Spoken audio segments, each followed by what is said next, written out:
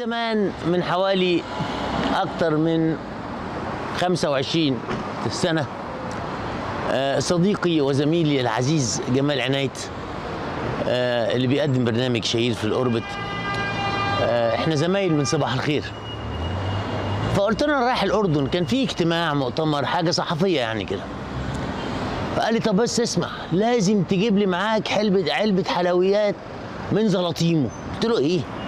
قال لي زلاطيمو قلت له إيه زلاطيمو ده؟ قال لي مالكش دعوة أنت لما تروح الأردن قول لهم ودوني زلاطيمو بس. وفعلا جيت هنا واشتريت علبة حلويات لجمال عنايت وأنا ما أعرفش حاجة. وبعدين مشيت الأيام وبدأنا نعمل باب الخلق. وباب الخلق يعني بنتكلم عن الخلق. فحبيت أعرف إيه زلاطيمو ده؟ إيه الحكاية دي؟ حلواني بس كده؟ لك لا. هو حلواني آه بس ليه تاريخ لطيف جدا. بيقول لك جدهم الكبير محمد زلاطيمو كان فاتح محل في حتة زي كده كهف أو غارة كده أو مغارة صغيرة كده. تقوم تطل على مسجد سيدنا عمر بن الخطاب في القدس الشريفة.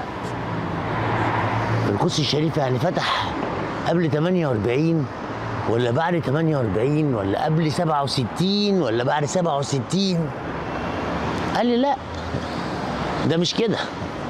ده فتح المحل الصغير ده اللي بيطل على مسجد عمر بن الخطاب سنة 1860 1860 يعني لا كان في عربيات ولا في طيارات ولا في أي حاجة خالص. فتح عمك محمد زلاطيمو محل حلويات فضل ممتد لغاية اللحظة دي لأنه مميز جدا. أنتوا عارفين مسجد عمر بن الخطاب؟ لما جم يفتحوا القدس الراجل اللي ماسك القدس وقتها الكلام ده في سنة آه، تقدر تقول يعني 17 أو 16 هجري. فسيدنا عمر جه قال للراجل مش هسلم مفتاح القدس إلا لعمر بن الخطاب.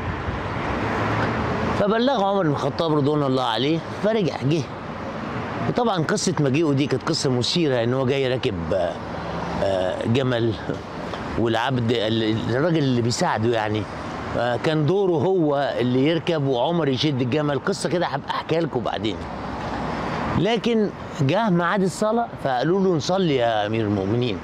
فقال لهم مش في الكنيسة نخرج بره لأن هتمر الأيام ويقولوا إن عمر بن الخطاب صلى هنا فيهدوا الكنيسة ويبنوا جامع. فخرج صلى بره فمطرح ما صلى عمر بن الخطاب أقاموا مسجد اسمه عمر قدامه على طول فتح عم محمد زلاطيمو محل زلاطيمو سنة 1860 يعني من 160 لا 162 سنة. دلوقتي المحل بيقود دلوقتي حفيد من تقول بقى الجد الخامس أو الحفيد أو الجيل الخامس أحمد أحمد زلاطيمو طب بيعملوا إيه؟ إيه اللي مميز زلاطيمو؟ هنخش جوه سمحوا لنا هنا نخش مطبخ المحل ونفرجكم على حاجات أظن إنها هتعجبكم جدا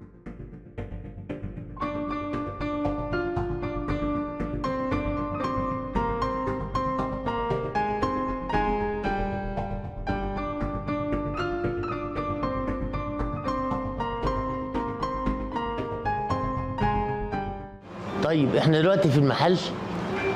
دي منتجات عمك الحاج زلاطيمو هو طبعا محمد زلاطيمو لما عمل ما عملش الحاجات ديت. عمل الكنافة والبسبوسة. لكن الأجيال اللي جت بقى غيرت صباح الفل. غيرت وطورت بيعملوا كل حاجة على فكرة. يعني هو مش محل كنافة وبتاع فعندهم كل حاجة تقريبا. حتى الشربات بيعملوه إحنا بنسميه شربات ده. ده إيه ده؟ ده ماء الذهب. بيحطوا على المية؟ أيوة. ما هو ده اللي أنا بقول لك عليه. آه في عندك برضه زيت زيتون عضوي بتاع خونته ده. آه ده مسقي بماء المطر. تمام. إيه؟ مسقي بماء المطر. مسقي بماء المطر؟ أيوه. يا سلام. يا سلام. أنا مصري. مصري؟ اسمك إيه؟ محمد. بقالك كتير هنا؟ آه. طب تمام يا محمد. متابع لحضرتك كتير. ربنا يخليك يا محمد ربنا يخليك ربنا يخليك. الحاجات دي بقى إزاي بتتعمل؟